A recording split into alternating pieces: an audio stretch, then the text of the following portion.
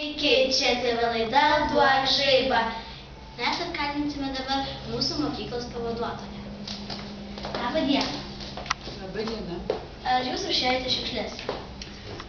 Namuose stengiamės, bet negaliu pasakyti, kad rušiuojam labai sąžiningai. O kodėl jūs rušiuojate?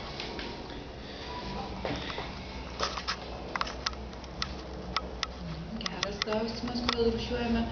E, Rušiuojame todėl, kad, e, ko gero, suprantam, kad nerušiuotos šiukšlės labai teršia aplinką. O galbūt galėtumėte pasakyti, kiek laiko jau rušiuojate? E, Nuo to laiko, kai prie namo atsirado konteineriai skirti skirtingom šiukšlėm. Plasmastai, stiklui.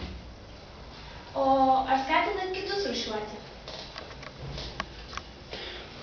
Tiek, kiek tenka bendrauti su kažkuo ir, ir kalbėti šitą temą, tai taip skatinu, nes, sakykime, šiukšlynai egzistuojantis Lietuvoje, man atrodo, nepatraukliai labai. O ką galėtumėte pasakyti žmonėm, kurie nerušiuoja? E, Kad mes visi turime rušiuoti šiukšlės, norėdami išsaugoti gražią aplinką, sveiką aplinką ir e, norėdami prisidėti prie aplinkos išsaugojimo. Ačiū. Prašau. Tai buvo laida Duok žaibą.